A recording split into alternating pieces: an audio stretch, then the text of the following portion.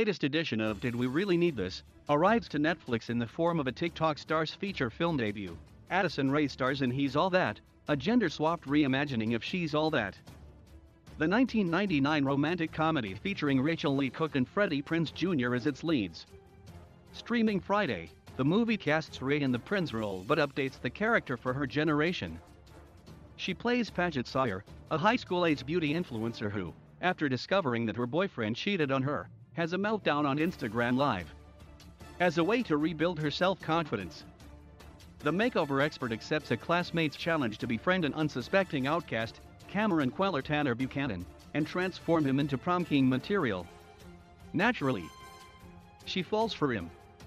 This premise was already tired by the time She's All That came around. The movie was loosely based on My Fair Lady, after all, It's itself a take on Pygmalion, but teen comedies don't always need to avoid tropes to succeed. What matters most are the star's charisma and chemistry, as he's all that director Mark Waters seems well aware, having helmed modern classics Freaky Friday and Mean Girls. Unfortunately, the new film falters on both fronts. Many have wondered how Rae accumulated 82.8 million followers on TikTok and 38.8 million on Instagram. She's pretty, but her dancing is nothing special. It even sparked controversy when she and Jimmy Fallon failed to credit the creators of viral TikTok choreography she half-heartedly performed on The Tonight Show. The New York Times indicated this year that her popularity has more to do with her tenure on TikTok. Support from other influencers and a foray into the beauty industry.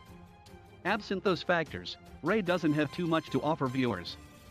She's an earnest actress but lacks the vocal inflection and range of facial expressions required to give depth to Padgett. The character's emotional arc involves her attempt to stop hiding behind her influencer status, whether in terms of the makeup she wears or her preoccupation with social standing. But Rae never convincingly drops the facade herself, a forced smile plastered onto her face until the credits roll. So what hope was there for electric chemistry with Buchanan? whose character's most notable trait as a wig as upsetting as his bleak outlook on the world.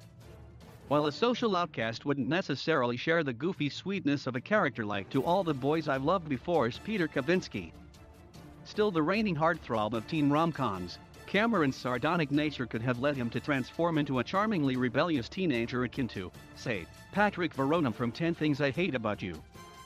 Instead, we are meant to find Cameron interesting simply because he shoots photographs on film and to consider his joining Padgett in an uncomfortable karaoke rendition of Teenage Dream as compelling a show of young love as belting Can't Take My Eyes Off You while skipping across a set of steps. Buchanan tries his best with the material, written by R. Lee Fleming Jr., who also penned the original film, as do an array of supporting acts Madison Pettis and Myra Molloy as Padgett's friends. And Peyton Meyer as her ex.